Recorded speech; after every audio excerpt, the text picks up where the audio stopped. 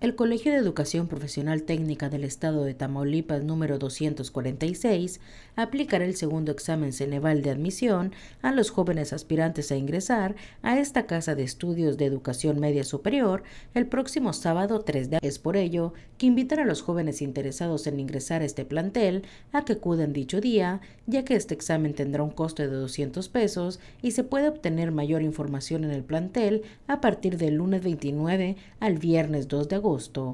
este plantel es el único en la ciudad que aplica dos exámenes de admisión. El primero se realizó el pasado 18 de mayo y el segundo se aplicará este próximo 3 de agosto a las 9 de la mañana. El examen tiene un promedio de 84 reactivos y el mínimo que solicitan es que sean 20 los que obtenga el estudiante. Con él ya se pueden inscribir en cualquier institución que tenga cupo. En caso de obtener una puntuación menor, ya en ninguna institución educativa será aceptado el estudiante.